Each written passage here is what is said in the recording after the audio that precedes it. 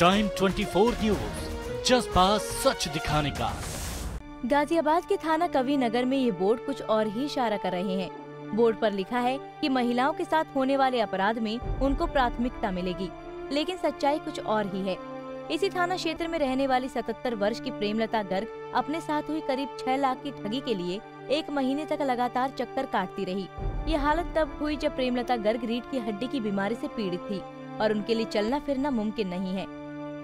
इतना ही नहीं इनके पति आर के गर्ग चौरासी वर्ष के हैं और एल्माइसर से पीड़ित हैं। वो कहीं आ जा नहीं सकते। उन्हें खुद अपने खाने पीने तक का ध्यान नहीं रहता। महिला की दो बेटियाँ शादी के बाद बाहर रहती हैं और बेटा सड़क हादसे में जान गंवा चुका है। लगातार चक्कर काटने के बाद ये बुज़ुर्ग महिला जब एसपी सिटी से मिली तब जाते इनकी एफआईआर दर्ज हो पाई। मेरा अप्रोक्सीमेट छह लाख का है। साढ़े नौ लाख मेरा जमा था। जिसमें से ढाई लाख जब मेरा रह गया तो मेरे पास बैंक से मैसेज आया। मैं स्पाइन से बिल्कुल बेड रेस्ट ये अटेंडेंट है गर्ग साहब की।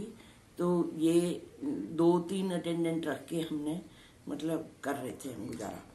तो मैं हिल भी नहीं सकती थी। बिल्कुल बेड रेस्ट तो मेरे पास मैसेज जब आया ये भाई ढाई लाख आपके रह गए हैं। ये उन्नीस अक्टूबर को मेरे पास मैसेज आया। कि ढाई लाख रह गया तो मेरा बहुत दिमाग खराब हुआ कि साढ़े नौ लाख थे उसमें से एक लाख मेरा बिजली के बिल और इनमें गया है बाकी के मेरे कहाँ गए? फिर मैं लेके बैंक में गई तो उनसे कहा मैंने क्या ये मेरे इसका कंप्लीट करके दो साहब बैठे थे मनीष सिसोदिया क्या है? मनीष।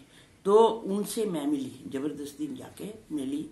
मैंने कहा ऐसी ऐसी ये बात हो गई है और हमारी एफ़ आई आर नहीं हो रही साइबर सेल वाले कुछ नहीं ले रहे हैं हमारी रिकॉर्डिंग भाई क्या हुआ क्या नहीं। तो उन्होंने मेरी हेल्प पूरी करी। दरअसल महिला के अकाउंट में से कुछ दिनों में ही पाँच लाख चौरासी हज़ार रूपए निकाल लिए गए। ये कैसे निकाले गए ये खुद महिला को भी नहीं पता थी। महिला बैंक जाती तो बैंक वाले एफआईआर मांगते। महिला साइबर सेल जाती तो वो लोग टकरा देते। महिला कवि नगर थाने जाती तो भी उसे मदद नहीं मिलती। ये परसों मेरे कार्यालय में एक बुज़ुर्ग माता जी आई हुई थी और उनके साथ उनके दो पड़ोसी भी थे, जिनके द्वारा अपना एक प्रार्थना पत्र और कुछ कागजात दिखाए गए और उनके द्वारा बताया गया कि साइबर सेल में जाँच चल रही है और उनका ठीक से सहयोग नहीं मिल पा रहा है उनको पुलिस का। मेरे द्वारा प्रकरण को अपने ऑफ़िस में दिखवाया गया। तो संज्ञान में ये आया कि इनके द्वारा कुछ दिनों पहले ई एफ़ आई आर कराई गई थी उनके पास कोड भी जनरेट था। लेकिन वो शायद अपडेट नहीं हो पाया। उसको लेकर के वो लोग भी थोड़ा सा परेशान थे कि एफ़ आई आर अभी तक क्यों नहीं हो पा रही है। मेरे द्वारा देखा गया ई एफ़ आई आर चूँकि जनरेट नहीं हो पाई थी तो मेरे द्वारा तुरंत ही प्रार्थना पत्र लेकर के तुरंत ही आदेश दिया गया। कबीरनगर थाने में मुकदमा पंजीकृत कराया गया और मेरे द्वारा उनसे खेद भी प्रकट किया गया कि जो भी इस समय कोई दिक्कत हुई उनको, चूँकि वो बुज़ुर्ग महिला थी नो डाउट परेशानी उनको हुई थी। और ये इंस्पेक्टर कबीरनगर को निर्देशित भी किया गया कि जल्दी ही उसमें जो भी लोग एक्यूज हैं जो भी उसमें संलिप्त हैं उनको गिरफ्तारी हो और कठोर कार्रवाई की जाए। एसपी सिटी मनीष मिश्रा ने मीडिया से बात करते हुए इस पूरे घटनाक्रम के लिए खेद जताया।